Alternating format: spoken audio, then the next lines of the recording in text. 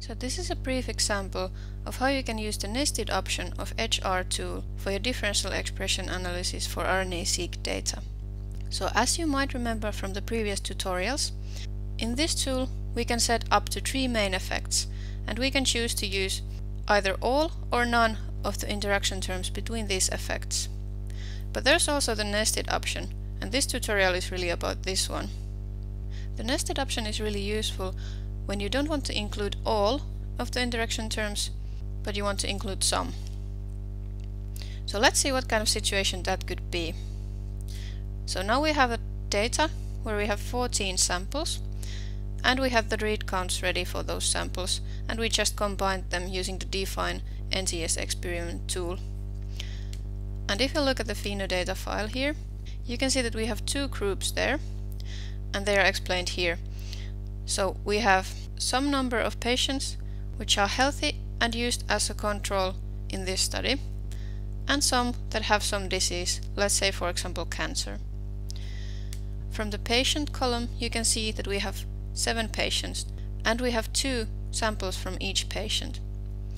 Those samples are control and treated. So for each patient we have done the control treatment and the treatment with some drug. Now we want to compare the cancer patients to the healthy patients and as well see the effect of the treatment both for the healthy ones and the ones who have cancer. So the situation is that we want to do a comparison both between the patients for the disease and within the patients for the treatment.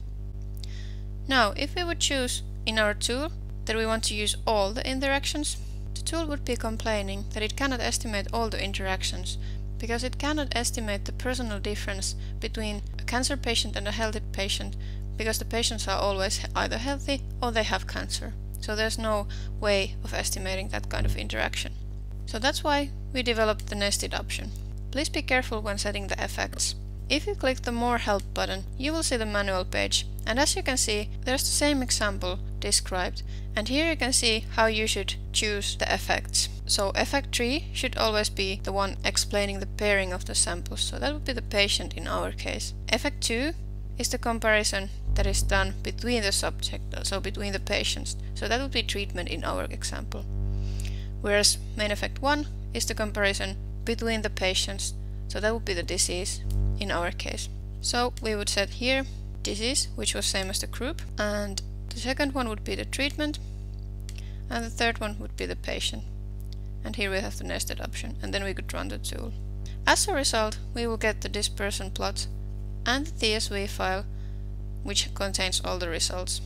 As you remember, it's this long file that has huge number of columns, and as the rows you have the genes, and again these five columns are repeated for each and every one of the comparisons.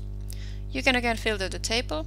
For example, in this case, if you want to compare cancer patients to the healthy ones, you choose this column. And here we filtered it according to the p-value, resulting roughly 200 differentially expressed genes. If we want to see the effect of the treatment within the healthy patients, we choose this one. So one here means healthy. As you might remember from the phenodata file, we marked the healthy ones with 1. And the third comparison is then the effect of the treatment within the cancer patients.